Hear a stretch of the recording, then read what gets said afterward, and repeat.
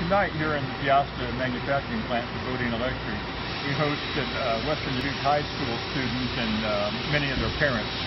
Uh, the purpose of what we were trying to do is first show what Bodine Electric does, but to show that manufacturing as a career, especially in the Dubuque area, which has a strong manufacturing base, uh, manufacturing is a great career.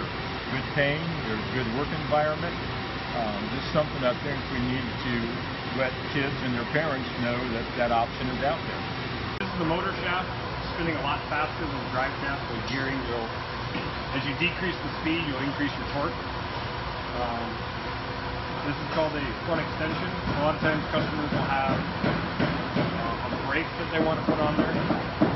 Some of our bigger industries is we made stair lift motors, so maybe your grandparents might have in their house uh, a stair lift or go up stairs to their bedroom.